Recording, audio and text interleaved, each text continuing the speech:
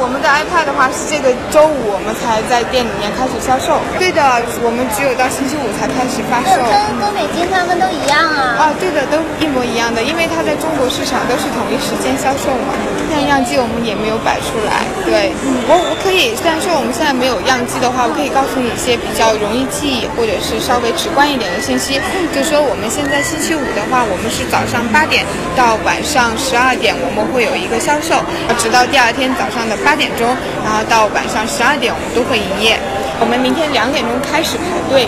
然后接着我们会有专门的上面会有一个小房间给我们的就是客人，然后准备，然后就可以进去，因为可能会怕下雨或者太晒之类的。然后接着呢，我们里面呢也提供就是网络，还有就是插座，但是不提供我们的设备，就是说可能你上网的话，可能自己带手机或者自己带一个小笔记本什么的，但是我们有充电的插座之类的。然后接着的话，我们发售的，我们在这边销售的，开始销售机型的话呢，我们是我们的 iPad，嗯，跟 WiFi 的，但是没有 3G 的。然后有一个 WiFi，但我们有十六 GB、三十二 GB 以及六四 GB 的那个机型都已经出来了。然后我们的最低售价是三千九百八十八元。我们的机型有 WiFi，然后十六 G、三十二 G、六四 G 我们都有，但是是没有三 G 的。